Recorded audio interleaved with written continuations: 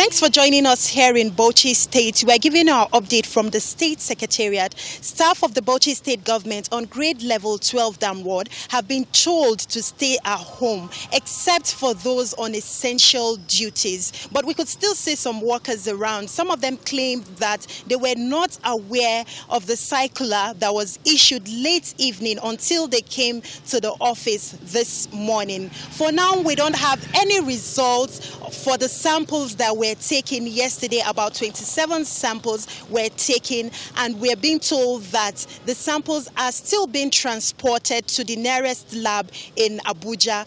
Bauchi to Abuja is about six hours journey. So it will take some time before the results are known whether there are still more cases of COVID-19 in Bauchi or not.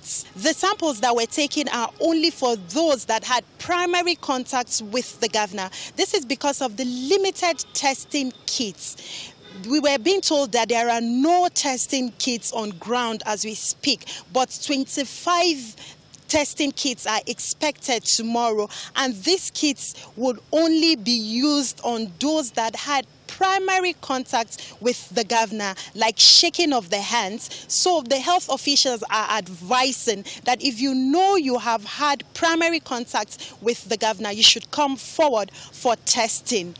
From the State Secretariat in Bauchi State, Hajara Aliu, Channels Television News.